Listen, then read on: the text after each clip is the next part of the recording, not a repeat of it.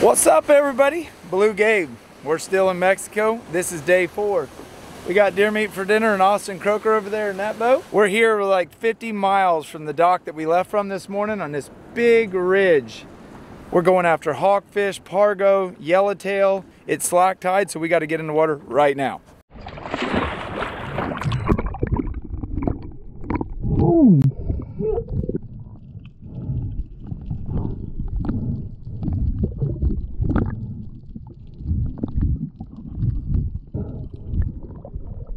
Bro, there's 25 pound doctor fish right here. Oh, what? Doctor fish.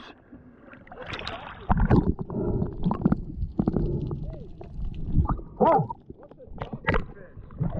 Like you'll see when I get in, they're the biggest you've ever seen. They're like those things that the Jamaicans love to make soup out.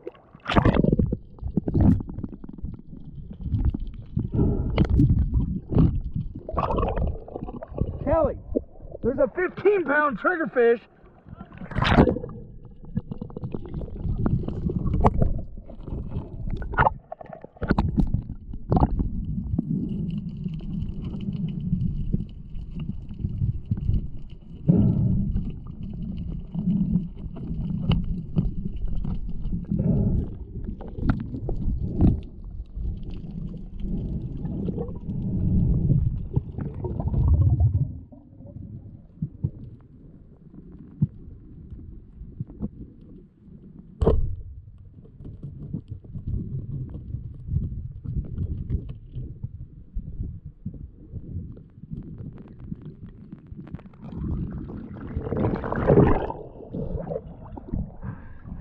I don't know what it is, but it's looking.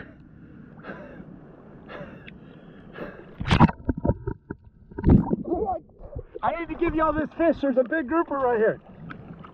Hey, that's a sheephead right there. Is it? Sheephead. There's a grouper right under the boat. Woohoo! First fish Nice in sheep's head.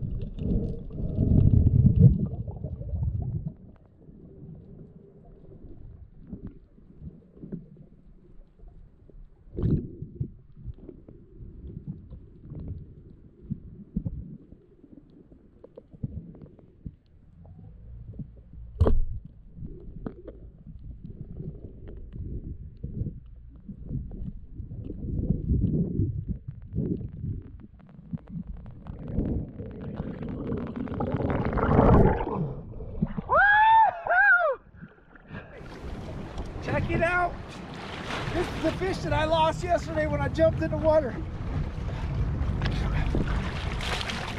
Man, this is insane. You guys, this fishery, mind blowing. Got it.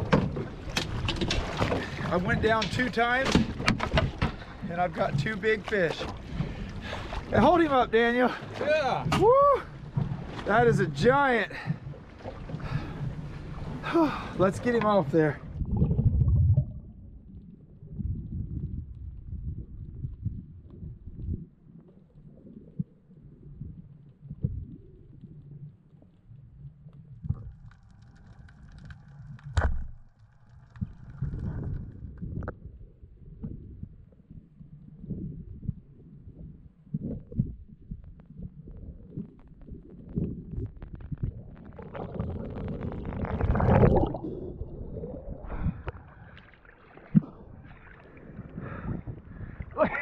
Size of that triggerfish.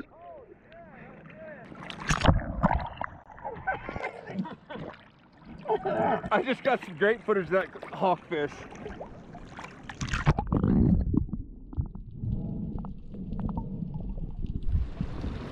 Look at this thing. Woo! That's the best eating fish that swims, all I tell you, boys. Hey, Daniel, you the man. I can't explain it enough. Ah.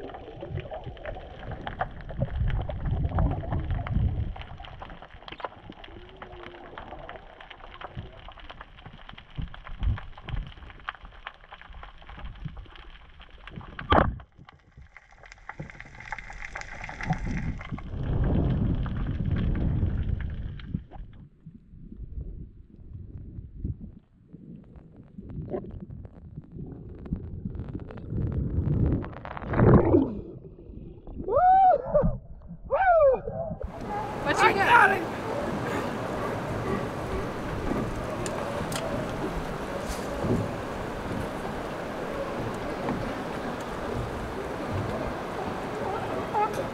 Look at this crazy looking thing. Looks like some type of fox fish. There's a good anchor down there. You want it? Oh yeah. Here. Look at that. Uh, Whoa, I have no tip. let me see that. Different kind. Different kind. What is Part of the triggerfish family. Look at that. That tail. You got teeth? Ooh, ooh, you would not want to get bit by those.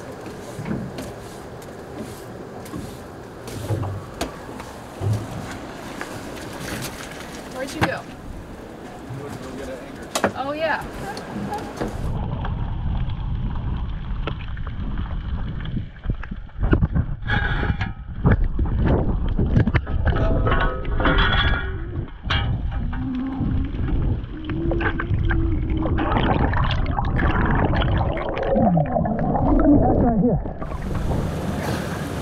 It's a nice one. Shit. Nice, we got a free anchor. Pull this in. We got a big anchor. Whew.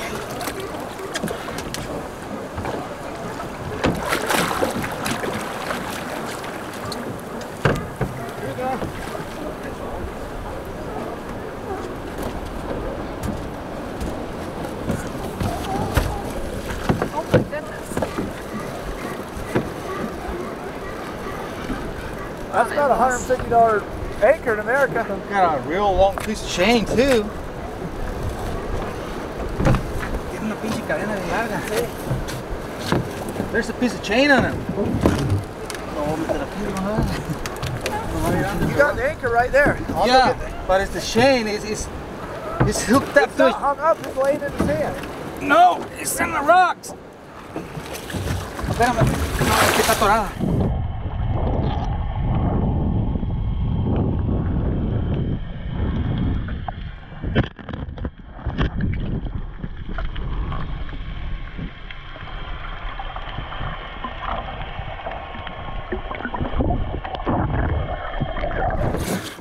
That's heavy. Oh my gosh.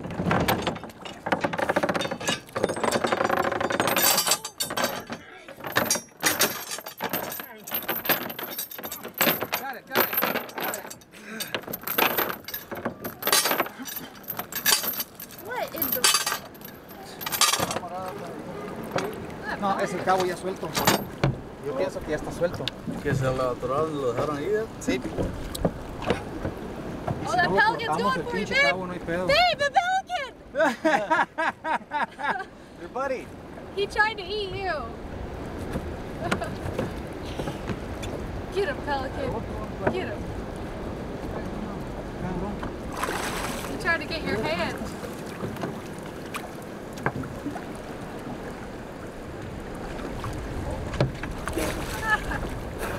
he tried to get your hand. Yeah, we need the That little one, but we got two best of them. catch of the day. Oh yeah. Daniel said, oh yeah. Oh yeah. Sweet. Nice. I know my fat butt needs one more weight. I'm insanely buoyant in this water too. Qué chingón vamos. You know what? Vamos a tener que quitar quitar el ancla grande y lo voy a echar para atrás. ¿Sí? We're not seeing big groupers no, and lo voy a stuff. echar para atrás. It's the most beautiful thing I've ever seen in my life. No, señor, eso no se va. And I know they're happy. Oh yeah. Robert! Look at this thing! What is it? I don't know, but we're gonna eat it.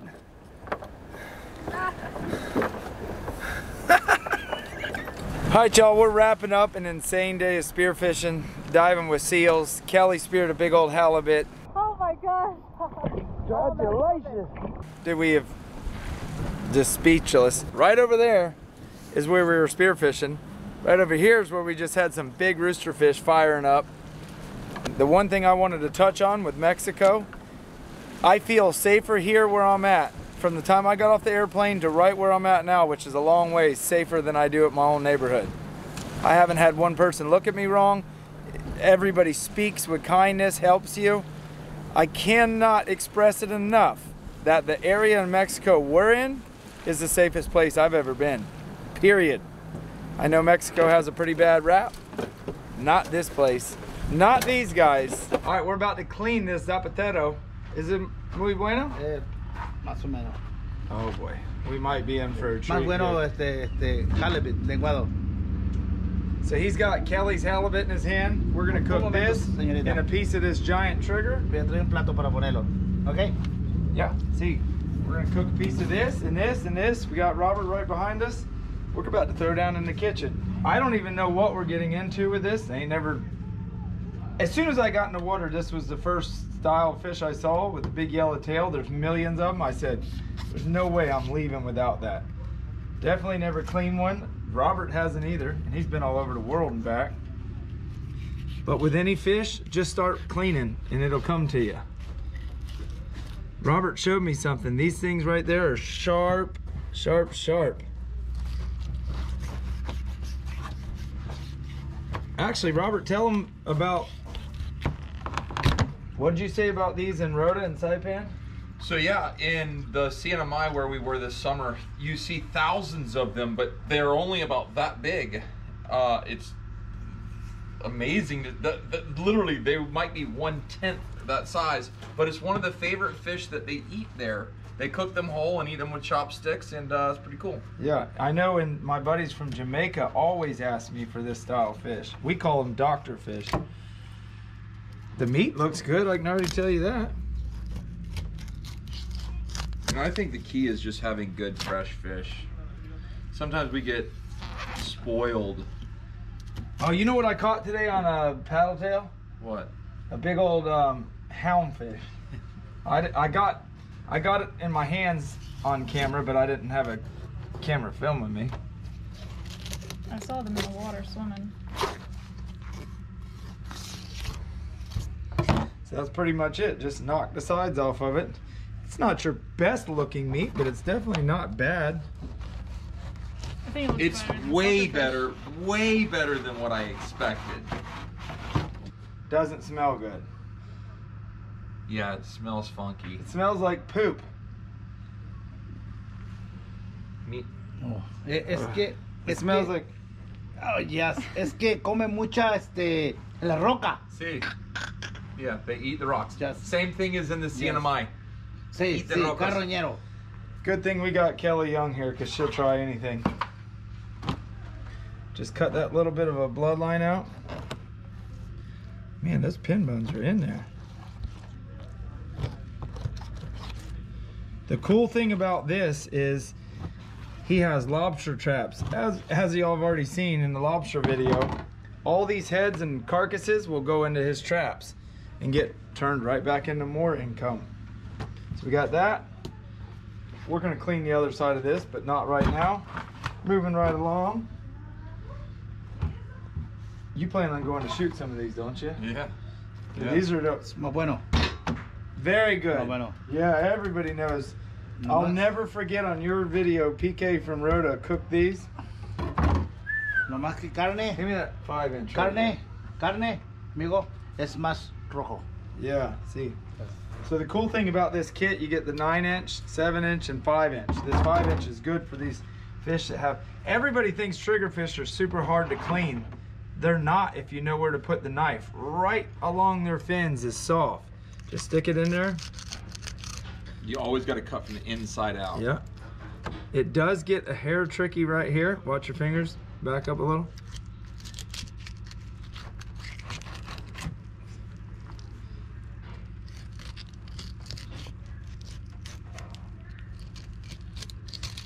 A lot of blood in this fish. That's what he was just yeah, saying. that's what he just said. He was saying it's more rojo. It's more Eh, red. rojo. Más, re, más rojo. Más rojo. But you see how I just cut through that like butter? It is because the knife's sharp, but that's not all of it. It's about where I put the knife.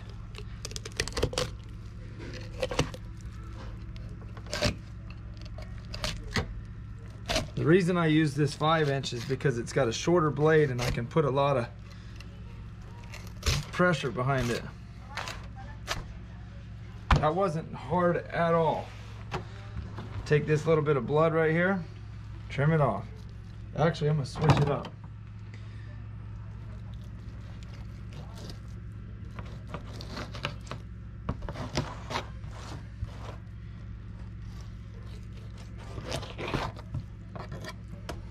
Easy peasy.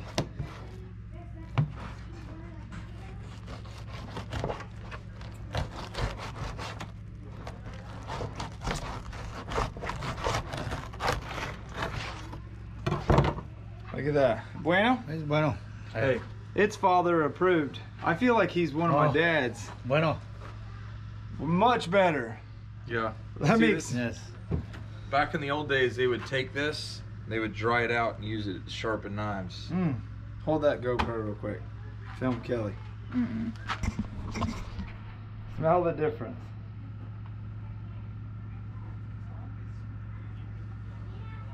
Smells like poop. Yeah. Yeah, it does. This Smells right like here. Sewage. Smells like Eh, poop. Yes. Wait, hold on. Es malo. Stop no, it. no, no, señorita. Yeah, it's, it does. It smells like parrotfish poop. Langosta eat this? Yes. Good. You know what we're gonna do right now? We're gonna put this in the traps for lobster. We're gonna catch more lobster with this. I don't even think we're gonna eat it because we got so much good fish. Definitely not wasting it though, because Pops here makes a living catching lobster and they need all the bait they can get because they don't fish very much. We'll see y'all in the kitchen. All right, so we're doing things a little bit different. You seen us catch it, spear it, clean it, but you're not gonna see us cook it. Chef's cooking it back there. And you'll know what we're getting when we know. When we're sitting at the table, ain't that right? Yeah. Meanwhile, I'm trying to call Sarah. I don't have to call mine because she's right there. Where we were at, 50 miles that away, in the middle of nowhere, I had perfect cell phone service. But here near a little bit of civilization, I have none. Let me introduce to y'all Pacho. Pacho. Pacho is taking us tomorrow to go after, how do you say, octopus? Yes, halibut, octopus, and uh, scallop. I love Pacho. All right, so all they did is took the fish, just garlic and butter. These beans, though, remind me of my mom's, like butter beans, the beans you cook with like a ham hock and cornbread. I don't like refried beans at all. But last night, Daniel, the guy we've been on his boat the last two days, says, You got to try these beans, they're the best there are. I tried them and it's like the best southern made beans I've ever had in my life. Rapate, you gonna try it? I'm about to. That's just plain butter and garlic, right? Mm-hmm. Was it bueno? It's muy bueno. We had no idea how they were gonna make it. Kelly said she wanted just some plain, healthy style fish, a little bit of butter, a little bit of garlic. Came out great. Robert loves it. Kelly loves it. It's really good. Fresh local made tortillas. Woo! And you know this, man. That's the end of this video. Got more to come. Make sure you check out Deer Meat for Dinner if you haven't already, obviously, checked him out. He's going to have some insane shows. Marlin, the whatever. I'll leave it at that. Only little tip. He's caught a big marlin. But like Jake always says, it's time to get up out of here and get that heck out of state.